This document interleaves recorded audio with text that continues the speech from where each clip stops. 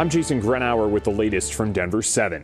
More Colorado schools are changing course and moving to remote learning. On Monday, some or all of the students in Jefferson County, Cherry Creek, Adams 12, Greeley Evans, and Weld RE5J school districts will move to remote learning. Westminster students will also stick with remote learning plans.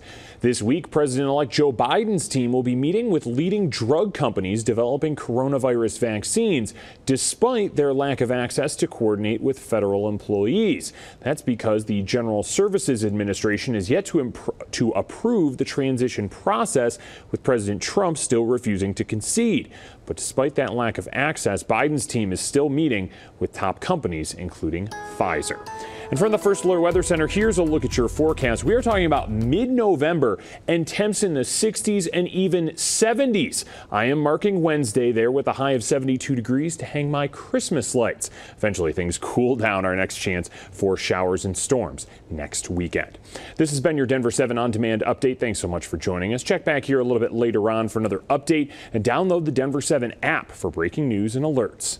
I'm Jason Gruenauer.